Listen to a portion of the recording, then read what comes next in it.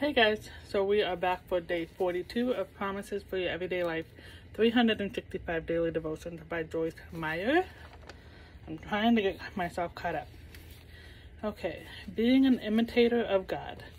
Being a Christian isn't about making a weekly trip to church. We need to develop the character of God so others can actually see Jesus working in a practical way.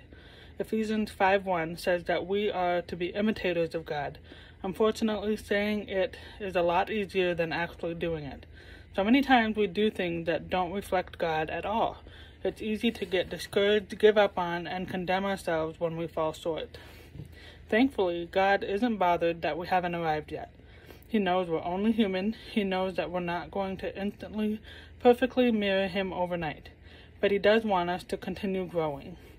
We're not meant to live stagnant lives, never moving forward in our faith.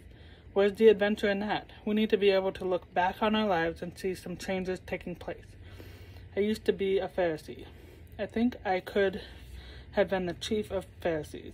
I was good at being religious, but I wasn't really doing anything to truly imitate God.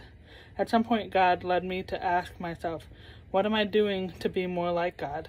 Am I actually helping anybody? Am I just in this thing so God will make my life better.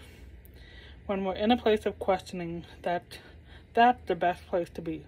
It's a place of constantly striving toward being more like Christ.